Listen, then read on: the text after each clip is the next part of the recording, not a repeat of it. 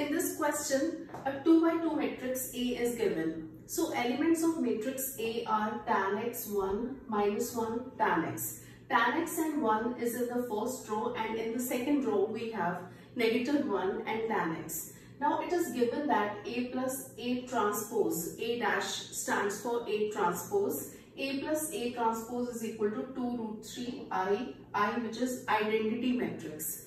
Now what is A plus A transpose? Let's understand what is a transpose of a matrix. If a matrix A is tan x 1 minus 1 tan x then we can obtain its transpose by transpose is also written as uh, a with the power small t in the uh, exponent or capital T. So A transpose is given by uh, when we interchange the rows and columns of a matrix, we obtain its transpose.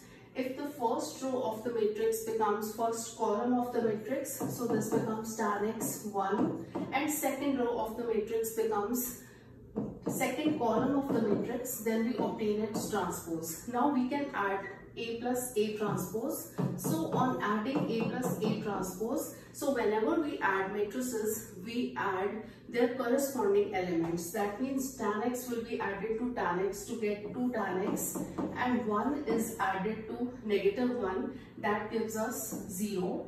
Negative 1 plus 1 also gives us 0 and tan x plus tan x is 2 tan x. Now value of A plus A transpose is given to be 2 root 3 I.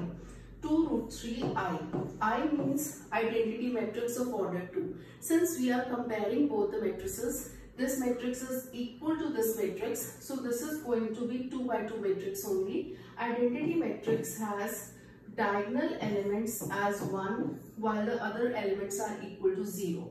So we can simply write it as 2 tan x 0 0 2 tan is equal to when we multiply 2 root 3 inside the matrix this becomes 2 root 3 0 0 2 root 3 now these two matrices are equal so their corresponding elements are also equal.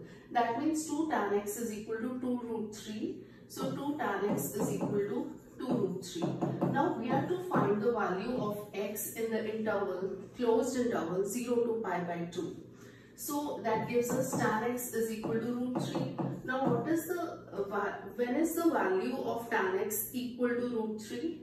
When tan is 60 degree. That means tan pi by 3 is equal to root 3. So value of x is pi by 3 in this case.